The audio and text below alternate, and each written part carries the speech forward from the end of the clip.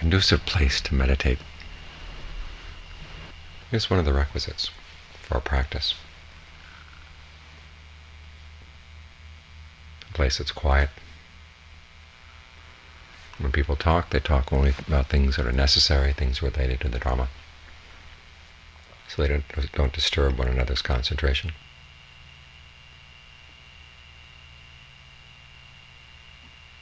a place far away from the hustle and bustle of the world. You have the time and space to watch your mind.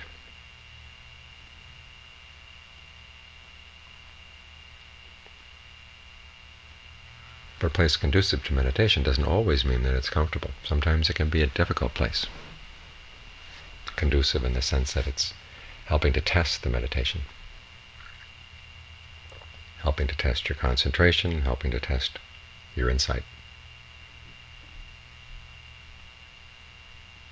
The texts often talk about how important it is when your concentration is still weak that you find a good place to meditate that's very quiet, very conducive, very comfortable.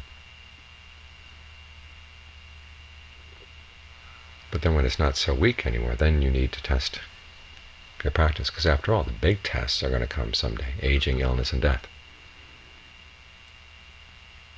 They take the gloves off. When they, when they come at you, they don't come nicely. And you've got to be prepared for them, which means that you have to test your practice to make sure that it's up for these things when they come, so that your practice really is a refuge. Many of the forest Ajahns talk about how they never really got a strong sense of refuge until they went into the forest, where things were difficult from all sides. There were diseases, there were dangerous animals. The forest was often a, a hiding place for criminals of various kinds. They found finding themselves in difficult situations like this, and the question is, what are you going to depend on? There's a passage in the canon where a monk is reflecting. He's out in this big grassy wilderness, and he's sick. What is he going to do? Is he going to go back and try to find a doctor? And he says, no, I'm going to depend on the five strengths. I'm going to depend on the seven factors of awakening. In other words, he's going to learn how to take his practice as his refuge. And that's a principle we should all think about.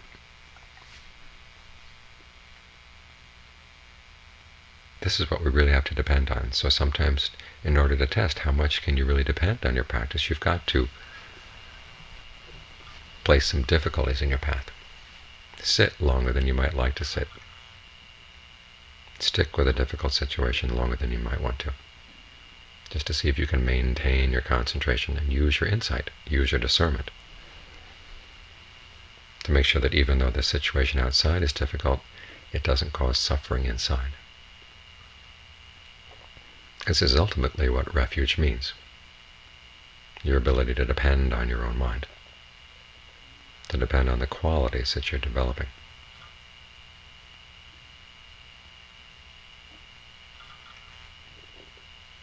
We talk about taking refuge in the Buddha and the Dharma and the Sangha. And ultimately, this is what it means, is taking their qualities and developing them in your mind so that you can depend on them. You can have them at hand wherever you go.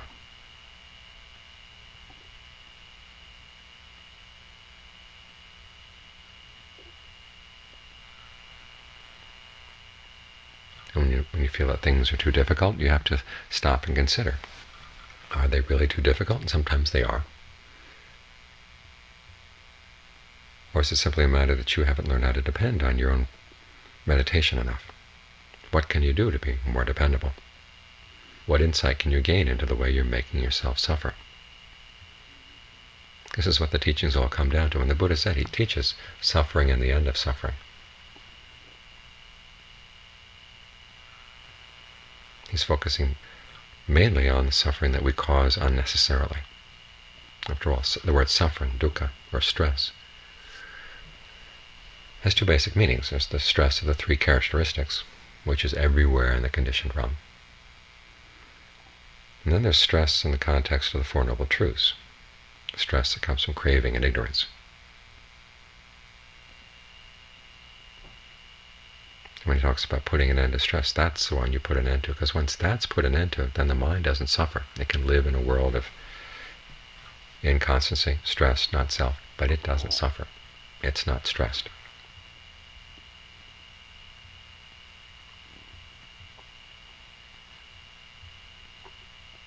So what you're looking at, what you're supposed to focus on here is the stress that you're causing yourself, that you're causing through your actions, through your ignorance, through your craving. And so when any difficulty comes up, might be relating to pain in the meditation, ask yourself, what am I doing that's taking this physical pain and turning it into mental pain? When situations outside are difficult, you can ask yourself, what am I doing that's taking that tangle outside and using it to tangle up my own mind. It's your perceptions, your thought constructs. These are the things that create the bridge from outside, inside to inside. So you've got to look at them. This is why your focus has to be very close. It's so easy to focus on the problems outside But then focusing on the problems outside is one of the reasons why you're suffering. So you learn to do, look at what you're doing. This is one of the reasons why the Buddha has us focus on the breath and be so sensitive to the breath. You can dependent co-arising, and right after ignorance comes fabrication, and bodily fabrication, i.e. the breath, is right there, first on the list. If you can bring some awareness, some alertness, to the process of your breathing. You're helping to cut away at ignorance at a very basic level.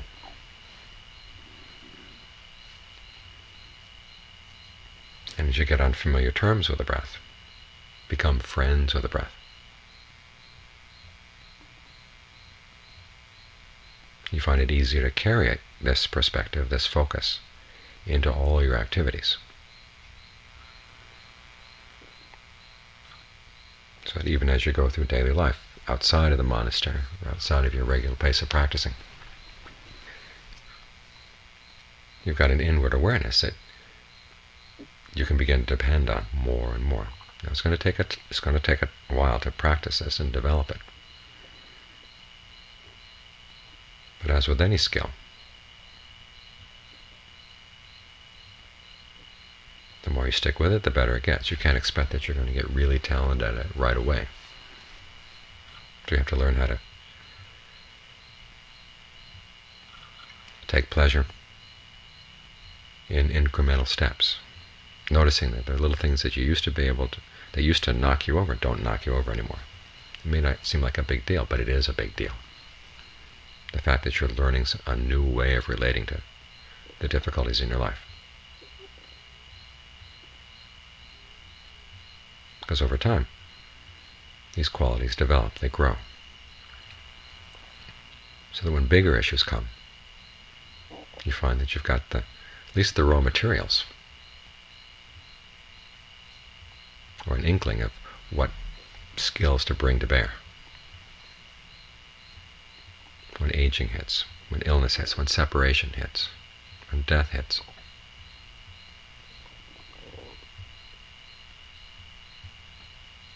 You'll have the qualities you can really depend on. So when things are difficult, look at it as an opportunity to develop the skills that you're really going to need. And to find that sense of refuge inside. There's a chant that the monks are often encouraged to memorize before they go out in the forest. It comes from a sutta in which the Buddha says that back in the time when the devas were fighting the asuras, Sakka, who was the king of the Devas, would set up his standard and say to his troops, if in the battle you get discouraged, look from my standard. As long as my standard is flying high, okay, we're, we're doing well. Take heart. And it was through that that he was able to encourage his troops to fight to victory. Now the Buddha said, in, of course, Sakka himself was subject to greed, anger, and delusion, so his standard is not all that reliable. This is for a meditator going to the forest. Take the triple gem as your standard. It's a much more reliable standard because the Buddha, the Dharma, and the Sangha are not subject to aging, um, excuse me, not subject to greed, anger, and delusion. And their qualities don't fade in the face of aging, illness, and death. So keep them in mind. To remind yourself, how did they overcome suffering? How did the Buddha, how did the members of the Noble Sangha overcome suffering? Well, it's through developing these qualities that you're working on right now. So whatever the danger, whatever the difficulty, look to these qualities as your way out. Sometimes when things are difficult, we depend on our physical comforts. We learn to depend on other things, aside from the triple gem, aside from these qualities. These qualities really don't get exercised enough. So sometimes, sometimes you have to put yourself in a difficult situation to force yourself to learn to develop these qualities.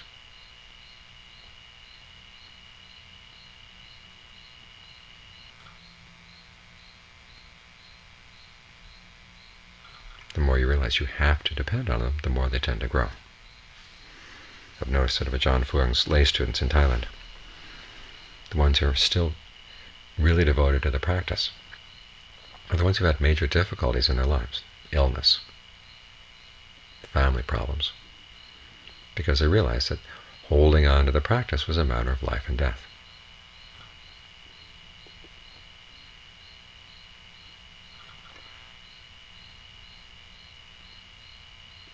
Ones who didn't have that sense of urgency tend to have drifted off into other things. So try to maintain that sense of urgency in your practice. Be willing to test it. Put yourself in a situation where you have to depend on your concentration, where you have to depend on your discernment to get through. Because it really is a matter of life and death.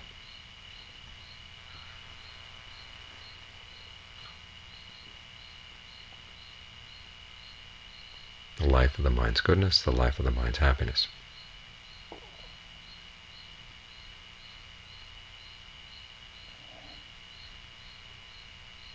Qualities of the practice are what will keep it going.